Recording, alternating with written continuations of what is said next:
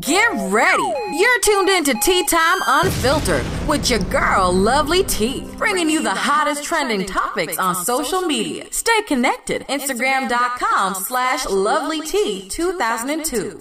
Hey, you guys, welcome to another episode of Tea Time Unfiltered with your girl, Lovely Tea. Hey, you guys, happy Wednesday. I hope everybody's doing good today. So, I'm back with another podcast, and I wanted to talk about some things that were going on yesterday on social media that were just really disturbing in the sports community. Okay. So before we get down to the nitty gritty, I just had to shout out Giannis Antetokounmpo. He went from the finals MVP to winning an NBA championship. And it's just been amazing to watch not only his growth, but also his brothers and just their story, you know, the whole Greek freak story and watching them you know, go through everything they went through in Greece and then coming to America and now finally winning that NBA championship. So shout out to them. I just think it's just amazing. You know what I'm saying? He's representing Greek, he's representing his Nigerian heritage and now America. So, you know, I just want to lead with some good news, honey, okay, before we dig into this tea. Now, what I really want to talk about is the drama that's going on with LeBron James. If you guys don't know, former WNBA player, um, Cappie Pondexter, came out with some really outrageous claims yesterday. And I think the saddest part in all of this is the fact that so many blogs, so many YouTubers, and you know, people of color at that were even entertaining this. They literally took this small 30 second clip of her going off and accusing LeBron James of being a sex trafficker and stealing her money and they used that as an aha moment to bash LeBron James. He was trending all over Twitter. People had no proof. People were just running with it. And so I didn't know about this until later on that day because people just started sending me the clip like, oh my God, what do you think about this? LeBron James is a sex trafficker. And I'm like, offer the words of Cappie Pondexter. Wasn't she missing a year ago that they sent out an APB for her, looking for her on social media because she had gotten arrested for like some type of domestic violence dispute and she just, you know, fell off the face of the earth. They found her. And so that kind of stood out weird to me because she's had her own issues. And so what I found very interesting is that people just ran with this clip. And I'm going to go ahead and play this clip for you guys so you guys can listen to the clip that folks ran with. I ain't confused. I ain't on that shit. That nigga tried to kill me for real. I just fucking got out of that shit. I've been missing for almost like two years. I ain't even know where the fuck I was at. I do not fuck with LeBron James. That nigga's a trafficker, my nigga. That nigga is a trafficker. He is a fucking trafficker. He trafficked women in real time. That nigga stole all my money out of my bank account. So you guys just heard that clip. Now that is the clip that many blogs ran with. I mean, they use that as their aha moment, you know, against LeBron James. And it was just really sad because when I finally saw the clip, I'm like, so am I the only one who can't tell that this is the rantings of somebody suffering from a possible mental illness or mental illness breakdown? I just thought it was very, very disturbing. Now, she claimed that she was missing for two years, but the WNBA had posted um, on October 8th, 2020 they stated, We are sharing this out of concern for our fellow WNBPA sister, Cappie Pondexter. If you have any information, please contact authorities. Please help us spread the word to ensure that she is safe. Thank you. That was October 8th that they came out and said that she was missing. Literally, later on that day, the same day, they did an update. Update We have located Cappie Pondexter. She is now safe. We want to thank everyone who helped us get the word out and who sent love and prayers. The power of the Lord is real. Please respect Cappie and her family's privacy during this time. God bless. So basically, later on that day, she was found. So for her to say that she was missing for two years and then just show up on social media, people should have known that something wasn't right. So of course, I wasn't going to go run with that. So I went to go look for more information. Like, okay, I need to see a longer clip. I mean, does she describe in details? Like, what what what is what is the context of this conversation? Because all I was finding was was this 30 second clip. And so I go and I go to look up more stuff about her. There's literally videos of this woman saying that she's Beyonce's wife. She's going off on folks. She's saying that LeBron stole $30 million from her that she, you know, owned Nike. Nike's her company. So this is what I wrote on Instagram. I said, sigh. Okay, I just watched former WNBA star Cappie Pondexter's video. She accused LeBron James of sex trafficking and stealing all her money. Social media, of course, ran with it and called LeBron James a sex trafficker with no proof. Now, if you watch more of her live stream, you'll see what I see. I'm getting mental illness teased. In this second video, she's arguing with people about Beyonce being her wife. She also claimed that Nike is her company and that LeBron James owes her 30 million. WNBA players don't make anywhere near that type of money to even accumulate 30 million. I'm not entertaining this foolishness.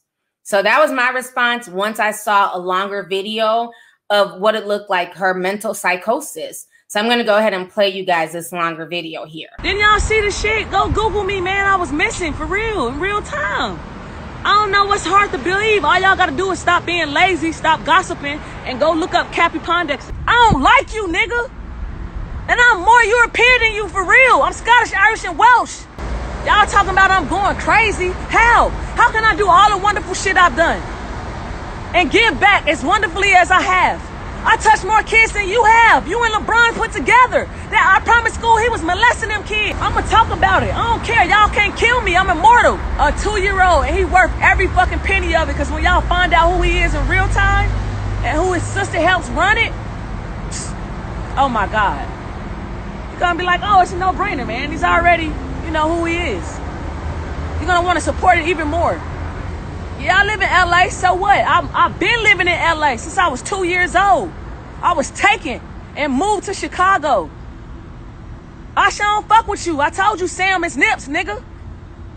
I don't fuck with you, Angel. I don't fuck with you. Get your ass up out of here. Ask Miss Tina. She don't fuck with you. I told you. Beyonce my wife for real. She a hermaphrodite, and so am I.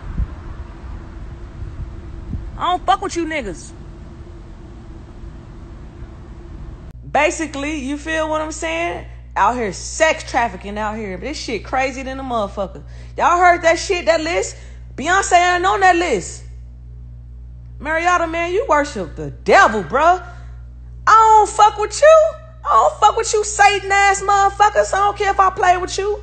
You worship the devil, my nigga. That shit real as fuck, man. This shit is out here in California. These niggas. High where? I haven't smoked weed in forever, man. I wish I could get high. I don't have any money to get high because he stole my money. But it's okay. Crazy. My top five, Derrick Rose, Carmelo Anthony, Iman Shumpert. Let me get personal. Yeah, I fucked Ty, Ty Young and shit. She's a little bitch I fucked. She a little popular nigga. I guess in the Game of Thrones and shit. She can't even leave LA now.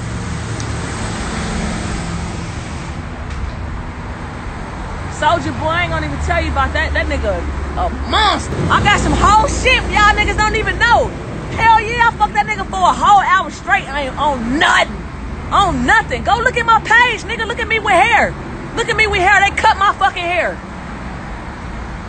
Look at my real page. Look at me, baby. Google me. I'm finna put my name so y'all can Google me so y'all niggas can know I ain't playing. Man, it's a spring thing. Talking about Beyonce hugs. Miss Tina.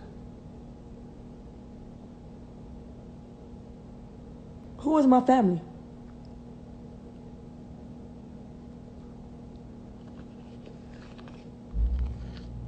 Hey, Julia Suave Escobar. Man, you finna go see Miss Tina. I'ma tell y'all the truth. I'm richer than that nigga. He stole 30 million from me, my nigga. I'm richer than LeBron James. Don't let that nigga fool you. Nike is my company for real. I'm tired of you motherfuckers. I've been humble my whole motherfucking life, man. Since y'all found out that I was Cappie Marie Pondex with that who? Fuck you niggas, man. That's really my motherfucking wife. I swear to God, y'all finna pay for this shit. I'm sending all y'all niggas over here. I'm finna let this shit be like this till this motherfucker die. For real. Fuck y'all niggas. I told y'all I wanted to see happy anniversary.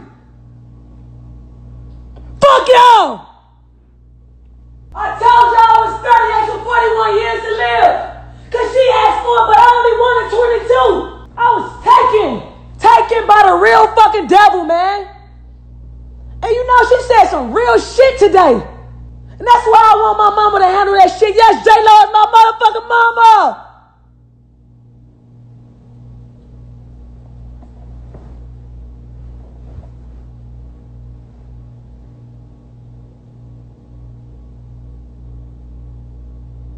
All right, so you guys just watched that video.